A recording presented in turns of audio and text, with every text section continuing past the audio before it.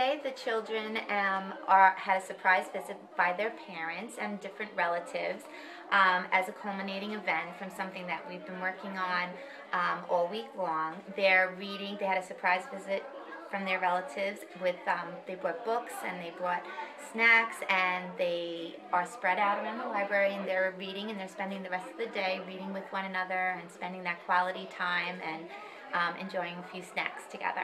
All week long, I started off by reading a book called The Relatives Came by Cynthia Rylant. And what they had to do was they had to make connections between themselves and the characters in the text. So we identified some key events, we retold the story, and then we brainstormed what it would be like if we had a surprise visit or what was it like the last time we had a visit with a relative. So what they did was they brainstormed some key events that they would that they did, and then we used what's called um, the rule of four, where they had to stretch their sentences by adding who, what, when, where, or why, um, and then they wrote their story using a storyboard. So they had each event, they had to sequence the story in, you know, the events in which they happened.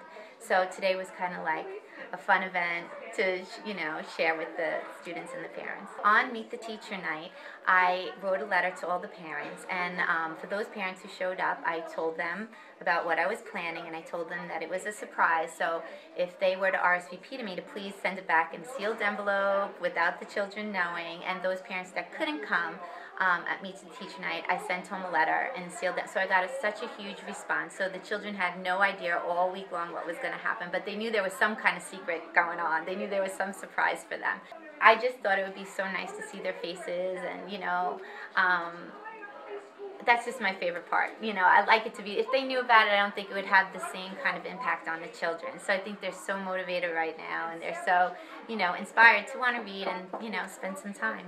The fact that some of the parents even dressed up because in the story, the, the characters had to travel for, you know, long distances to see their relatives, and some were from the Appalachian Mountains. So we talked about what the culture is like there, how they dress, and so some of the parents even dressed up like they were from, you know, and, and that they were in a car for a long time. They would bring their snacks, so that's why you saw parents bring baskets with snacks and books and blankets.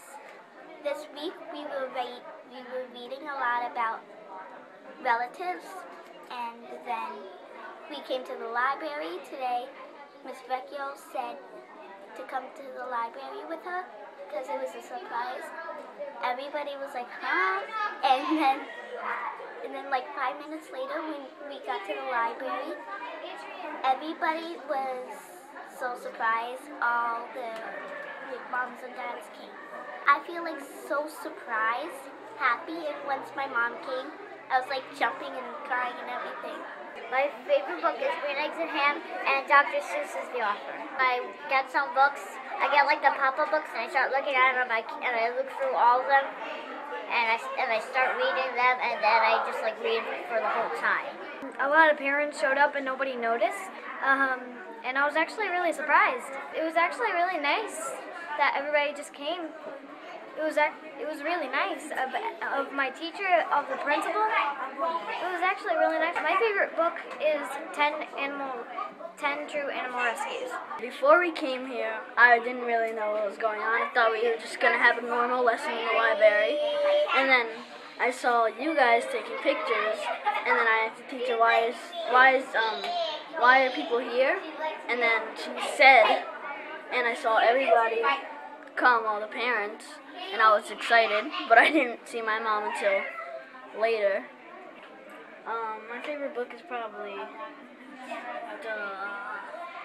I like the chapter books of what's it called? Holes. I saw the movie and I like the book. Um, I have a couple of favorite books actually. Um, well, I had Rich Terabithia, um, The Summer of the Swan. Um, uh, um, I don't really read with my family. I read either by myself or my my um, parents read to me. Like, um, I didn't think my mom was gonna come, but turns out she did.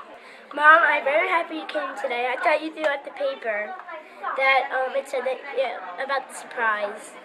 I love you. I was actually excited about today. I was so happy. My mom actually told me, well, she actually showed me and I was supposed to not know, and I knew. I was so happy, and I was wondering why she told us we weren't allowed to have snack. Well, um, my teacher, we're in the classroom.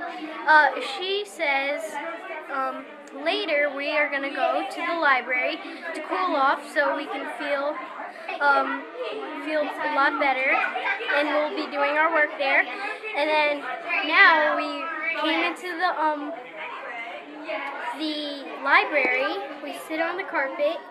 She um, has with a clipboard and a pencil, and to make us think that we had we're doing a lesson here. Well, uh, when she was talking, I saw someone behind Miss Vecchio, and then she said, "Well, look who's here!" And everyone was taking pictures. It was everyone's parents. Unfortunately, my mom didn't get to make it, but I still like today. Well, um, mom, you are the best, and I know you couldn't. I know the reason why you couldn't come, and it's okay, but you're still the best, and you're. I love you so much. My favorite book is Diary of a Wimpy Kid, Rodrick Rules. Miss Vecchio has been planning a little surprise behind our backs and wouldn't tell us. And when I saw my dad come in, I was so excited. And my friend Morgan actually pulled me down, and my dad asked me, why did I go down?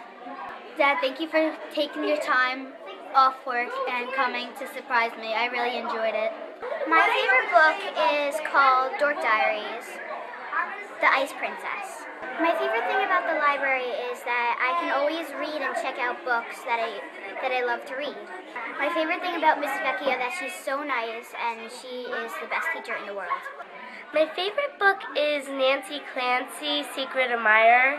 It was kind of scary because all we was all we were doing was um, writing down something, and then we heard a sneeze. We looked back, and then the cameras um, said, "Look at your teacher," and then all we knew was there was our relatives coming in. I think Mrs. Vecchio is the best teacher ever. Uh, I was very excited.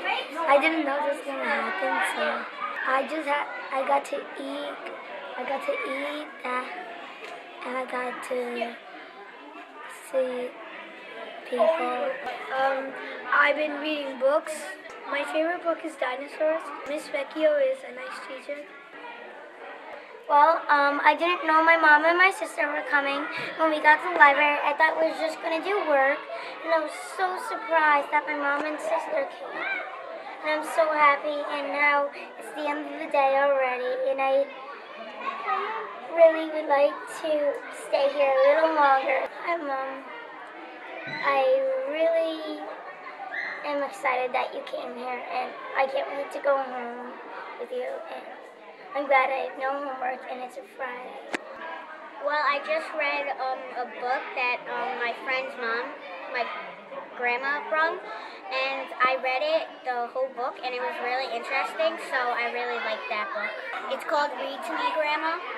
Miss Becky Vecchio's a really good teacher, and I really like her. Yeah, she's a really good teacher. She's good at teaching, and she's like, she loves all of us, and she's really nice.